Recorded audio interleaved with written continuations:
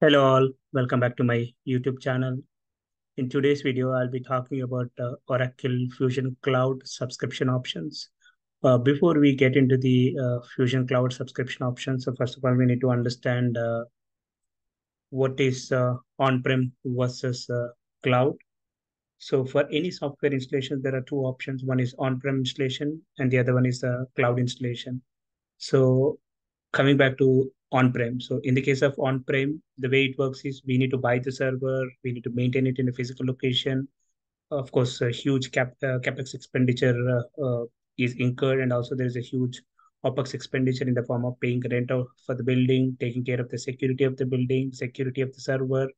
We need to take care of regular patching, maintenance of the server, so on, and we should also have uh, disaster recovery, backup server, and so on. And once we purchase the uh, server, so within that particular server, you can install your own uh, software. It could be Oracle EBS or it could be any other software.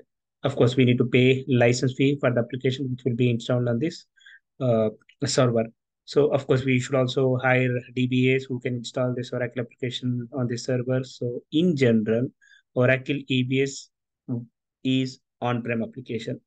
Of course, there are certain customers who purchased Oracle Cloud Server Space and installed EBS uh, on Oracle Cloud Server uh, instead of uh, installing the Oracle EBS on their own uh, uh, on on their own servers. So, but whereas coming back to cloud, so the dictionary definition of cloud computing is the delivery of the computing services, including servers, storage, databases, network, software, analytics, and intelligence over the internet or over the cloud. So in the case of on cloud, so the application would be installed on the cloud or the server maintained by say Oracle Corporation in this example. So Oracle will take care of maintenance of the server, physical maintenance, security, patching, etc. of the server, and Oracle will also take care of installing of the application on cloud. So generally, Fusion applications are cloud application. That's the reason Fusion applications are called your cloud applications, wherein Oracle is taking care of uh, both the server as well as the applications. Of course, in the earliest uh, days of the Fusion applications, there were certain on-prem uh, Fusion uh, uh, installations, but uh, but Oracle has stopped the on-prem Fusion applications. Now all Fusion applications implementations are on cloud. Okay. Now coming back to the uh, the topic of uh, today's video is about Oracle Fusion Cloud subscription options. So there are three Fusion Cloud subscription options: SaaS, PaaS, IaaS. So SaaS stands for Software as Service. PaaS stands for Platform as a Service. IaaS stands for Infrastructure as a Service. So what is SaaS? So in the case of SaaS, we are just given a URL and we could start using the uh, application. That is your storage, security, patching, maintenance, application upgrade, application installation, etc. Everything would be taken care by Oracle Corporation. So we can start using the out-of-box functionality. And in general, no customizations are allowed in the case of SaaS application. But again, note, if you want to build a BIP report, if you are building an OTBI report, writing different business rules in approval engine, uh, building an integration with uh, external systems like integration with banks for sending payment files or getting exchanged, etc. In general, these are not called customizations.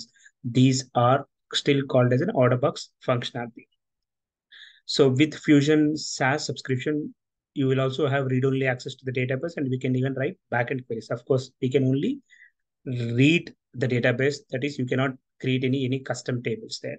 You can just read the data from the tables. And of course, uh, uh, after every quarter, there will be also automatic updates uh, done by Oracle Corporation. They first do it in a test environment, and two weeks later, they do it in production environment. So that is about SaaS subscription.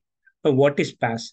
Generally, in the case of PaaS subscription, by default, you will have your standard out-of-box functionality similar to that of SaaS, but Oracle will also provide you a platform to make some changes or write extensions to the standard applications. So basically, uh, maybe building a new custom page, building a new custom bolt-on application, or customizing the uh, ex existing page, uh, etc. So PaaS applications uh, allows you to meet all these business requirements. So these are not possible in the case of SaaS. So again, I'm repeating. So in the case of PaaS, you can build a new custom page, uh, build a new custom bolt-on application or customize the existing uh, standard functionality. Of course, in the case of PaaS, you can also create custom tables, custom schema, custom objects, uh, etc. And of course, you can use them in your custom pages. So in general, if you are an uh, then quarterly updates which are done by Oracle are not automatic because there is some customizations involved. Uh, generally, you might have done some uh, customizations in your uh, subscription, and hence this needs to be properly coordinated with the Oracle Corporation and accordingly a lot of testing is also required if you are on paas. In general most of the uh, customers whatever i've seen are on saas. So uh, based on the business need at any time a client can also switch from uh, saas to paas of course the client needs to pay additional licensing fee uh, uh, to oracle corporation if you are if you go for paas and the last one is IaaS, infrastructure as a service. So in the case of uh, IaaS, as the name itself says, Oracle is just providing an infrastructure or providing a server, that's it. And you can install any software on that, whether you want to install Fusion or maybe probably Fusion is not a right option there because uh, Oracle will not uh, provide uh, uh, Fusion as a kind of an on-prem application. So in the case of infrastructure as a service, so Oracle is just providing a server wherein you can install any kind of application. So pro probably we can take say uh, Google Cloud as an example, or AWS is an uh, example of uh, IaaS, which is infrastructure as a service. So at a high level, these are the three different Oracle Fusion Cloud uh, subscription. Again, the last one, uh, I will not even still call it as a Oracle Fusion Cloud subscription option. It's just an option provided by Oracle, uh, wherein Oracle provide a, a server wherein you can install any application. But in general, all your Oracle Fusion cloud application subscriptions would be either SaaS or PaaS.